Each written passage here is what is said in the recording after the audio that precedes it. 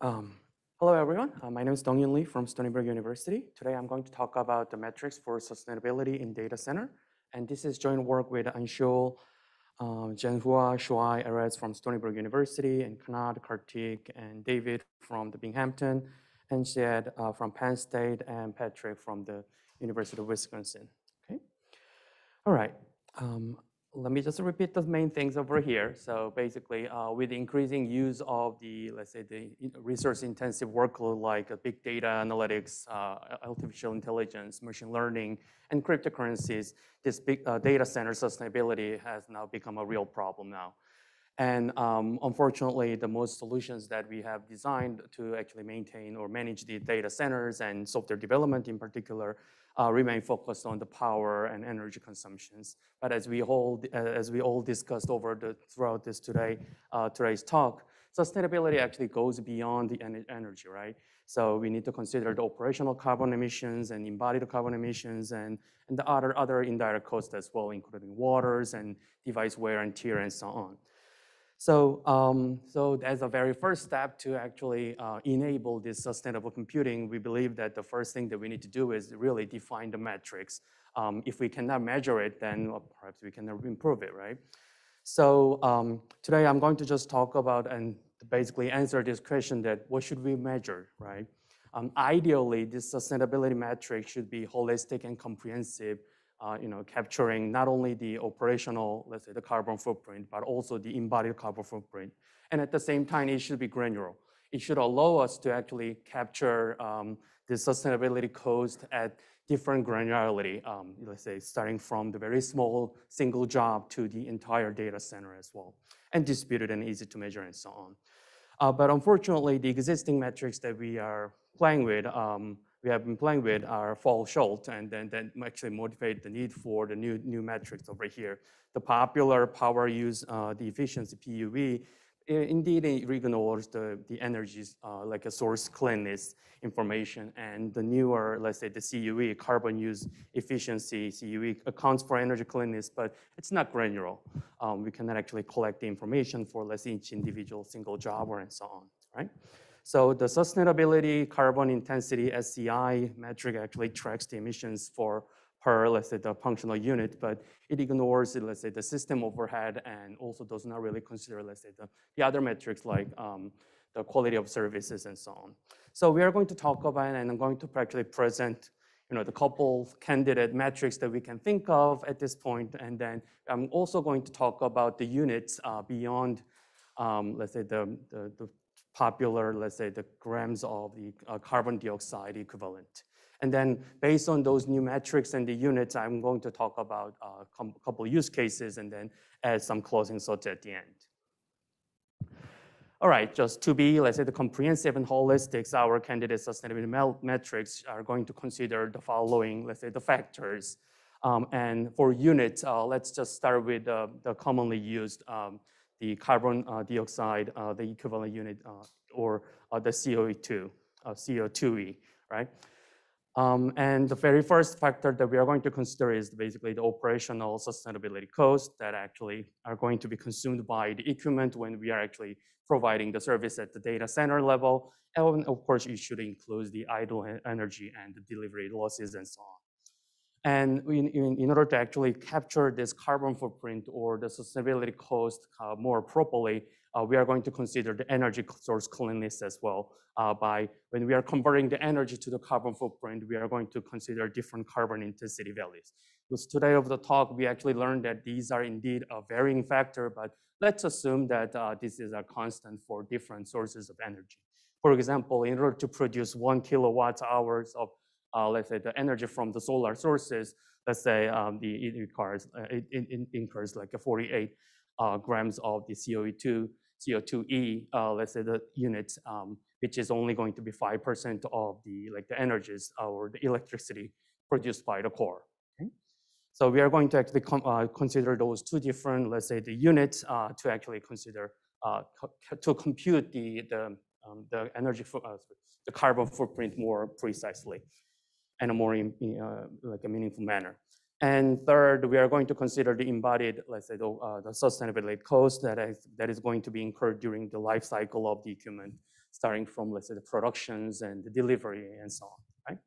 And so in today's talk, I'm going to mainly focus on those three factors, but our paper actually talk about some details about the other factors that I'm actually listing over here. So for those of you who are interested, please refer to the paper, okay? Let's talk about the operational energy first, right?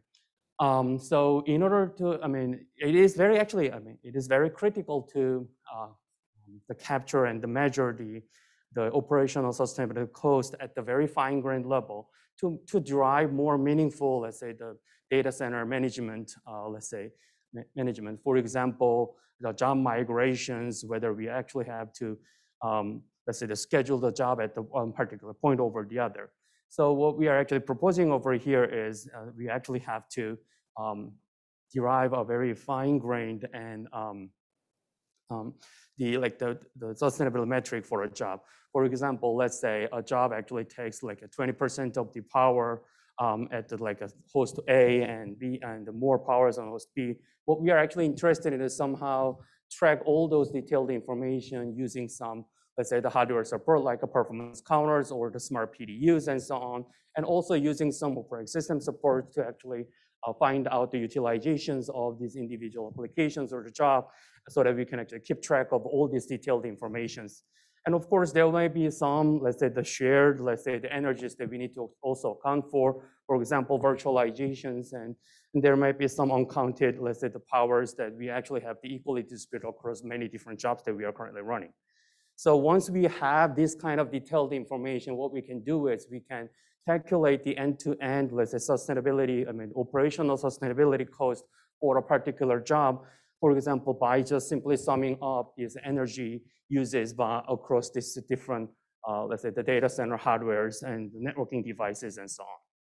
And then once we calculate those energies uh, for individual job, then what we can do is we can consider different, let's say the carbon intensity values uh, from different like the sources of the, uh, the energy or the electricity uh, for example, let's say we have 80% of electricity coming from the coal sources and 20% coming from the solar. Then we can actually compute our, our uh, carbon intensity value to be, let's say, 66, uh, 666 like this. Um, and then we can actually multiply those values so that we can actually compute this so-called um, the um, grams of the carbon dioxide equivalent CO, uh, CO2e values. And this is the, going to be the operational cost that we can consider. And basically the key message over here is we really want it to be fine grained at the same time. We want to consider this energy cleanness information. And then let's talk about this embodied cost, right? So embodied cost is associated with you know, the whole life cycle of the individual device. We've been discussing, let's say, the manufacturing, delivery, distributions, and disposals, and the recycle and everything. So when we actually can, if we can somehow collect those numbers, what we can do is we can amortize those, uh, like the cost over uh, equipment lifetime and also considering the user's time and the utilization of individual job so that we can indeed charge individual job uh, or the, like the data center, like the workload um, based on its, its uses and the utilization and the life cycle, a lifetime of this equipment. But we wanted to actually point out that when we were actually trying to collect these informations, it was very actually hard to obtain this embodied like a cost. Um, many of these many of these informations are indeed pro, uh, proprietary, and indeed there are actually multiple vendors in the supply chain, and it was fairly hard to obtain. So there are actually a small number of the data sets that, are publicly available, and I think many any information has been, has been shared throughout this, today's Slack channels and so on as well. And I think that is a very uh, interesting research question and an open question is whether we can actually use this publicly available data and then indeed exploit, exploit uh, the estimate for the old data center equipment. And I would think, expect that this will be a very interesting research question to answer.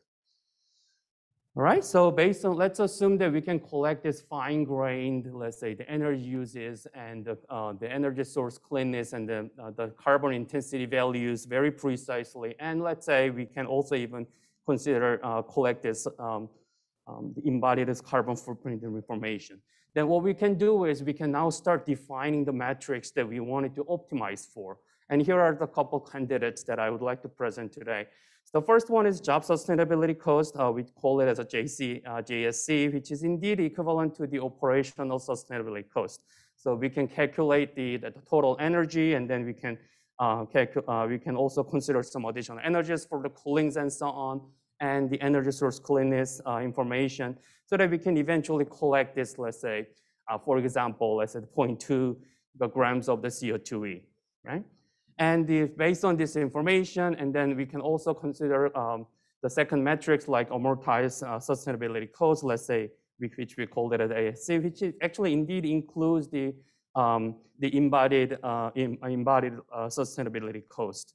So uh, let's say we actually use that job for five hours, and then let's the life cycle, lifetime of that equipment is let's say five, three years, then we can amortize that. And what we can do is we can calculate the value, and then we can eventually say that, okay, it is 0.22. So the delta between these two numbers actually captures the, the job's responsibility for this, uh, let's say the embodied sustainability cost, which is going to be 0.02, right? And then once we have this kind of information, now we can actually think about the optimization function. We may actually want it to optimize or joint optimize this, both the carbon, um, the footprint information or the sustainability cost and the QoS, the quality of services together, right? So what we can do is we can now actually think about the like the, the unit that we can collect for, let's say, the, the given time units, because we are basically interested in so-called like a cost rate over here. So for example, we can think about the, like the, the, uh, the metrics, what we call uh, job quality per cost rate, where we divided the QS by uh, the elapsed time and the, um, the, the multi-sustainability cost. What we can eventually get over here is something like a job is going to produce, like, can handle 900 purchases of transactions for a given time unit, let's say for an hour, and one grams of the CO2e. And what we are actually interested in is maximizing this, let's say the metrics over here, or even finding out the, some, uh, trying to draw some Pareto curve and then find out where is the optimal point that we wanted to reach at, right? So these are the candidate sustainability metrics, and, and I believe that we, we, we need to come up with a, um, the metrics that are fine-grained and at the same time uh, consider, I mean, the, basically the end-to-end -end metrics and the variable factors, and of course the, the QoS factors all together so that we know that what we are actually optimizing for. So um, these are the sustainability metrics that I would like to actually discuss today. And then now I also wanted to talk about the units a little bit more. So far, I have actually assumed that uh, we are actually going to use the units of let's the carbon-based unit, basically CO2e. Um, and I just want to first wanted to point out that the existing carbon-based unit actually is ignoring many important factors. For example, carbon emissions associated with the diesel backups or um, the, associated with uh, the chemicals and solvent for the advanced cooling solutions. So we, we, we really need to actually find out what are the all the factors that we actually need to consider in order to actually calculate the CO2 numbers correctly. But more importantly, I wanted to actually point out the second point that I wanted to make is that the carbon units are not, may not be very intuitive to actually promote this in um, incentivization. So what I'm trying to say over here is you know, users may not actually cares about you know, the carbon footprint right? So how can we, I mean, what does it mean by, let's say, the introducing 2.5 grams of the CO2 emissions when I actually submit my job to the data center, right? So uh, I'm just actually, uh, we are just proposing one idea like over here that what if we actually try to uh, provide some complementary, let's say the unit that are main based, basically the moment monetary units over here because again, um, dollars are maybe it's easy to understand. I'm not really saying that dollar is everything, but I'm just saying that in order to actually uh, involve the users into our sustainability, you know, the effort, we may actually want to think about what is the right units to actually use to promote this, uh, the sustainability uh, and so on. So basically, um, we, we wanted to actually talk about this dollar units and to see whether this is the right metrics or, oh, sorry, right units to actually report those metrics and so on. And, um, and we were also curious about uh, whether dollar or the monetary units may be easier for us to even approximate this so-called embodied, uh, let's say, sustainability cost instead of the CO2 numbers. And it may be also be a good unifying unit when we talk about both, let's say, the carbon uh, like emissions and the methane emissions and so on. yeah, because we can actually convert everything into a single unit. So that may be actually easier. And we've been already actually using, let's say, the carbon credits and so on. So this is not a new concept, and people have tried to actually understood, um, understand how this economic, let's say, model actually works. But at the same time, I wanted to also point out that there are challenges over here, how we can actually convert this carbon into so-called like dollars. Um, this is not, this economic model is not very trivial. And then uh, when it becomes more complex when we talk about, um, let's say, the international interactions as well. So we need to actually think of, um, this is something that I did believe is the uh, open question, and then there will be a great uh, collaboration opportunity with uh, the economists and the, like the computer scientists over here as well. So based on this metrics and the units that we are proposing over here, we can actually enable multiple use cases. So the one example, and I've been actually promoting over here is what is the right ways to, let's say, the incentivize users? What is the right ways to involve the users into our whole sustainability effort? If we can provide this very fine-grained, uh, let's say, the sustainability metrics for the users, let's say the user can actually observe the sustainability, uh, sustainability cost for the user's job, then they may be able to actually run some, some form of, let's say, the what if analysis, like, what if I actually run this job at this particular location? What if I run this job at a different amount, different time zone? and or different locations. That will definitely allows them to actually, uh, let's say, to negotiate those uh, the effort to with the, the, the, cloud vendors or the, uh, the data center service vendors, and then there may be some uh, collaborative effort over here and opportunities as well. And this monetary metrics may actually lead to disincentives and some um, um, so for example, the users can actually get some, um, let's say the credits when they actually participated in this, um, participate in this, um, the sustainability effort. So these are the one, uh, let's say the use case that we can think of when we have this very fine-grained and monetary, let's say the units and metrics as well. And the second one is, well, we've been also thinking about beyond the users, how the software stack or the software development cycle should be changed um, in order to make the software become more, or the, let's say, data center applications become more sustainable. Um, the very first thing that we are all aware of is that so software basically need to be aware of the sustainability cost from the beginning. And then the uh, software designer can actually think about or exposing more tuning knobs or let's say the, uh, the opportunity for the users or the, um, the cloud, even the cloud vendors to actually change the parameters of the applications so that they can actually become more sustainable and then uh, achieve, let's say, uh, and basically op uh, optimize the metric that we've been proposing, like um, keeping the like the QS level, like the higher uh, at a given um, the sustainability cost. So um, we, uh, the software designer can now start talking about um, what is the like the carbon footprint implications when we actually use uh, heterogeneous, um, let's say, the, the, resources, um, and what, how, how should I actually set uh, my, let's say, the replication factors when we talk about the fault tolerance, uh, fault tolerant distributed system design. So, so far we've been actually talking about this one in terms of the availability and the throughput only, but what we are actually proposing is here um, the sustainability metric should be also included into the, this design decision, uh, let's say the process. So the closing thoughts over here is that um, data centers sustainability metric must look beyond power and energy, as we all uh, champion for. Um, and this metrics must be holistic and then allows us to capture at a different granularity. And uh, we are, um, we are actually arguing they should be at the very fine grained level as well. As well.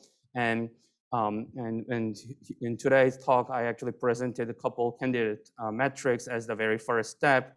But um, throughout this talk, I also talk about a couple you know, the challenges as well. For example, um, we need to actually promote like more public data uh, for our embedded costs so that we as a whole understand, as a, as a community understand what is the, uh, the end-to-end -end sustainability cost for running this data center.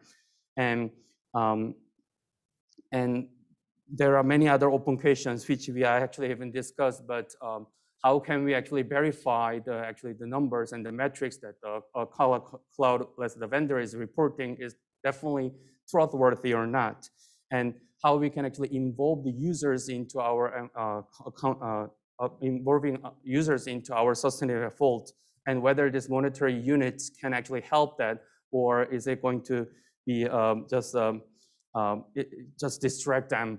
That's going to be an interesting uh, questions, and then I, I, I hope that our research community is going to actually work on that aspect. All right, uh, that concludes my talk, and then I'm happy to take any question.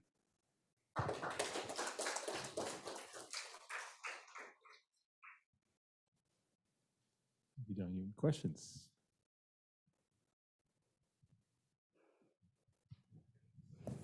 Hi, great talk. Um, It occurs to me that some of the, you know, understandability of these metrics or the, their ability to motivate people, you know, maybe could be explored with some focus groups or from some user studies potentially. So I'm curious if you've thought about doing such things or have done Yeah, actually, um, it would be very interesting to do some form of the user study because, um,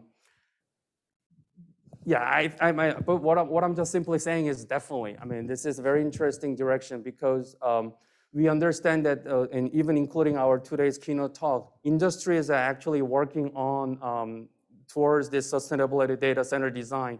And it's not only the data center designer, right? It's also the software developers and operators. So in order to actually understand their needs and their what is the actual uh, the motivations uh, or what, what is the like the driving factors, those are the things that I think definitely the user study can actually help us to understand, and then we can actually jointly optimize for.